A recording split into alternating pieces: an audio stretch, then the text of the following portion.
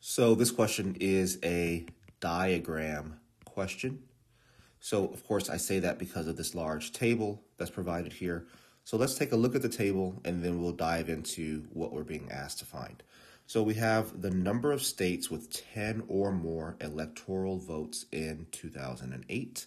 So in our first column here, we have the number of electoral votes between 10 and 55. And then the frequency, which just gives us the number of states, right? So for instance, there are four states with 10 electoral votes. There is only one state with 17 electoral votes.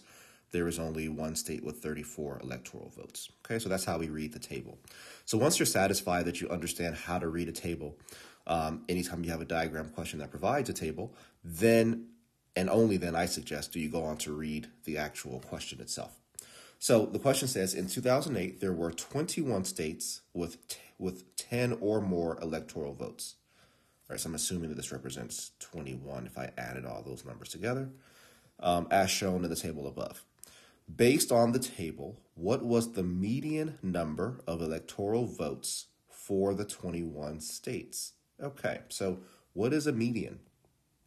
Right, so a median is basically the middle number from list in order. Right. And yeah, so the order could be ascending order, it could be descending order.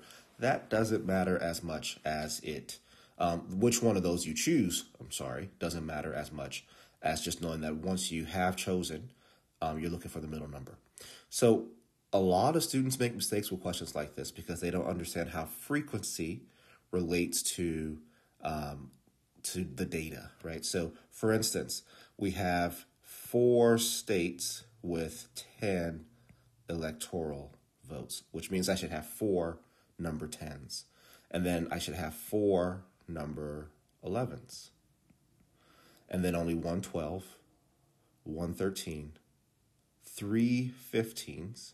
And again, I'm getting this directly from the table. So, so far I've done this first row, right, with the four 10s, four 11s, 112, 113, three 15s. That's a 15 there.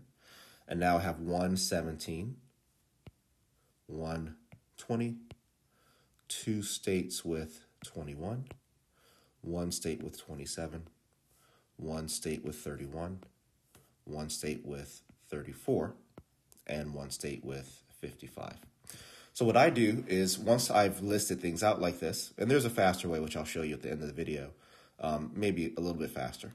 Um, what I like to do is once I list it out, I start to cross values out from the ends because now I'm just like making my way towards the middle number visually. So I feel less likely to make a mistake. And in doing that, in this case, what I get is 15 as the middle number, which would mean that choice B is the correct answer.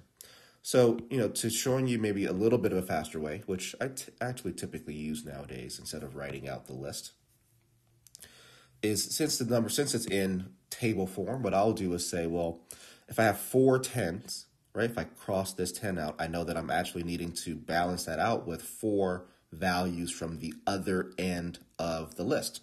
So that's one, right? So 55, that's two, that's three, and that's four. So all four of these numbers cross out or balance out with the four tens that are represented there.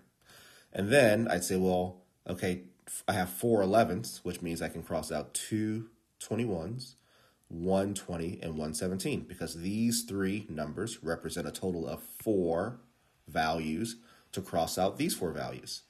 All right, now this 112 crosses out with one of these 15s, which means I still have two left. All right, so there's still two left. And then 113 will cross out with another one of the 15s, which means I still have one left, meaning that the only value left on the list that's not crossed out is the 115 that was left over. And again, that's why the answer is choice B. So if the if doing it this way, the last way that I just did, doesn't make full sense, um, go ahead and list it out. It doesn't take a whole lot of time, but I think it's good practice to kind of um, understand mentally how this table works. Once you understand how the table and frequency and everything works really well, um, the method that you just saw me use with just crossing it out directly on the table will begin to make more and more sense.